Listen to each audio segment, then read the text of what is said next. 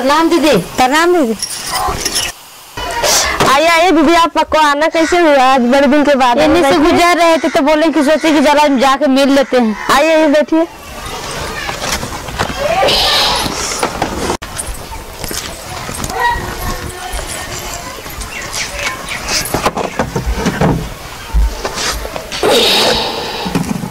नहीं दीदी हम आ गए तो दिक्कत का हो लोग के काम में।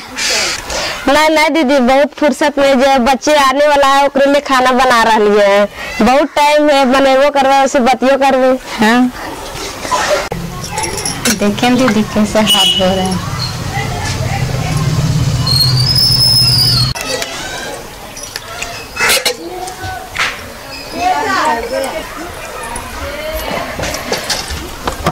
बच्चों के लिए खाना बना रही हूँ बैठा दीदी खा के अब जी है अब। ठीक है दीदी बना ला।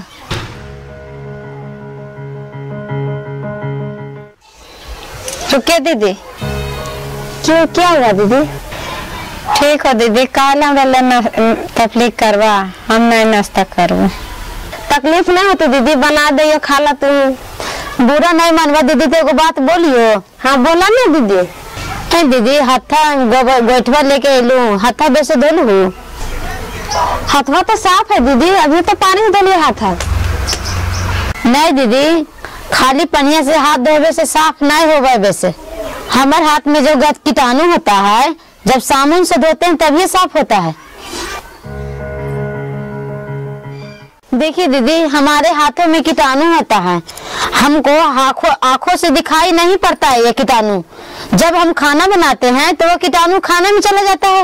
और जब हम खाने बैठते हैं, खाना खाने के लिए तो हमारे हमारे पेट में चला जाता है। इसलिए बीमारी से बचना चाहते हो तो शौचालय के बाद खाना बनाने से पहले, और खाने से पहले साबुन से हाथ ज़रूरी धोना चाहिए। हाँ दीदी, बात तो सही कह रही हो।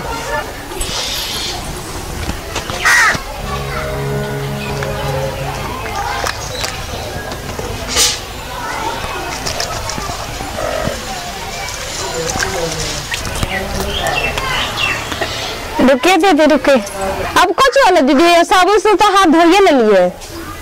साबुन से हाथ धोने का भी एक तरीका होगा अभी तो साबुन से हाथ धोले दीदी, या फिर साबुन के तरीका बताओ। हाथ धोए ले पानी दूर से लावे पड़ रहा है, फिर साबुन के खर्चा क्या देते?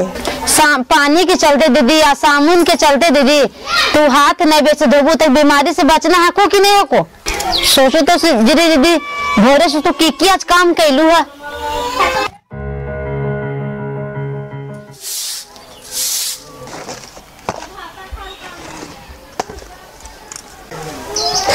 अच्छा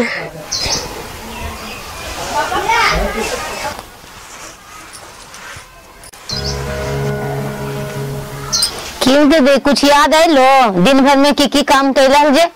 हाँ दीदी, आज गंदे हाथ से बहुत काम करे वही लगे हमारे बच्चा लगा बीमार पड़ले हैं। हो सकता है, दीदी, बड़े हाथों में बहुत कीटाणु तरह से होते हैं। और बहुत तरीके से बीमारी को फैलाता है। घर के साफ़ सफाइया के बाद भी हाथ धो लेना चाहिए और शौचालय के बाद भी आए तो हाथ धो लेना चाहिए। रुकिए, हम बताते हैं साबुन से हाथ कैसे धोया जाता है।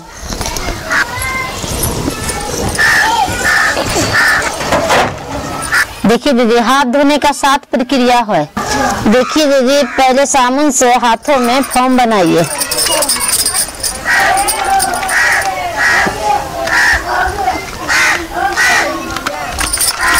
या पहले हाथों से अच्छी तरीके से ये तरहती को लगाना है। देखिए, दूसरा तरीका है पीछे हाथों के ऐसे उंगली घुसा करके दोनों हाथों में ऐसे ऐसे करते रहना है।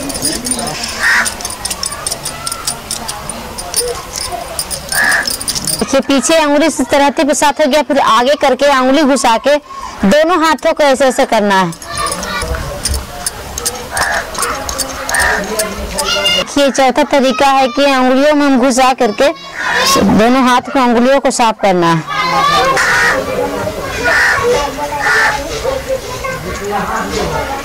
पांचवा तरीका है कि पूरा अंगूठों को साफ़ करना है। दोनों उंगलियों को साफ़ करना है। कि दीदी, यह सब छठा तरीका है। हम नाखूनों को साफ़ करने के लिए भूल जाते हैं। ये देखिए तरहती पर रख के ऐसे करके नाखूनों को साफ़ करते हैं।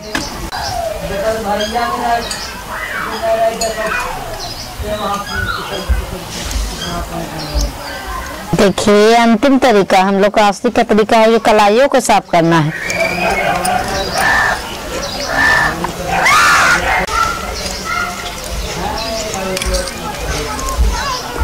देखिए अब हम लोग को हाथ सामने से साफ़ हो गया।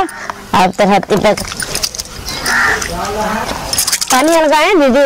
अब दीजिए यही तरह से बहते पानी में हाथ धोना लाना चाहिए।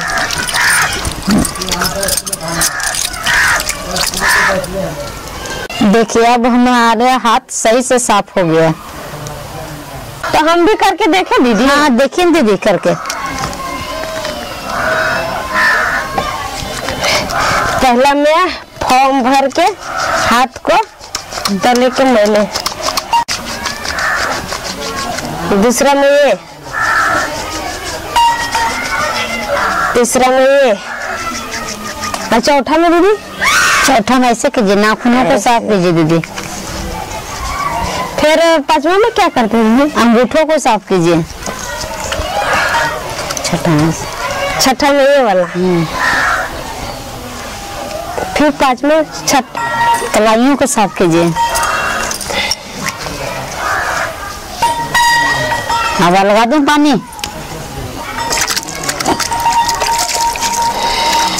अब तो मेरा हाथ साफ़ हो गया ना दीदी। हाँ दीदी ऐसी इसी तरीके से सब दिन हाथ धोते रहिएगा। ठीक है दीदी आप सब सोच समझ गए हैं।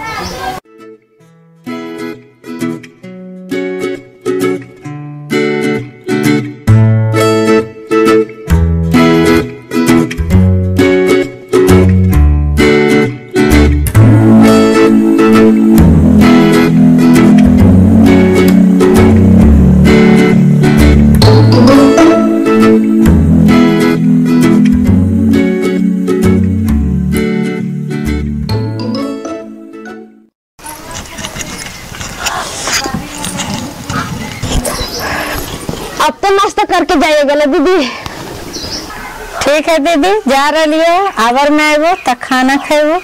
गुस्सा मत करिए आ इसी तरह हाथ साबुन से धोते रहिए। ठीक है दीदी अबरी ज़रूरी हमारे हाथ के बनल खाइए। हाँ हाँ तो एकदम पक्का अबरी आएँगे तो खाना खा के जाएँगे। ठीक है दीदी तो नमस्ते। हाँ दीदी।